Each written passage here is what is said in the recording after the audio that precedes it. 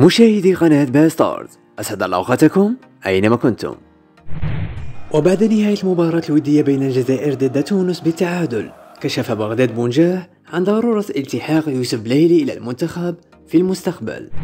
كيفاش نتأقلموا مع بعضنا في داخل الميدان؟ هي ثاني مباراة مع بعضنا ولا ثالث آه لازمها شوية وقت و إن شاء الله آه إن شاء الله يعاودوا يرجعوا كما قال لك الأفراح كما زمان. نعم. آه اليوم آه مباراة كانت قوية وإن شاء الله يعاود يرجع بليلي بقوة إن شاء الله. إن شاء الله نتمنى يعني. نتمنى إن شاء الله يوسف يرجع بقوة لأنه المنتخب بحاجة ليوسف.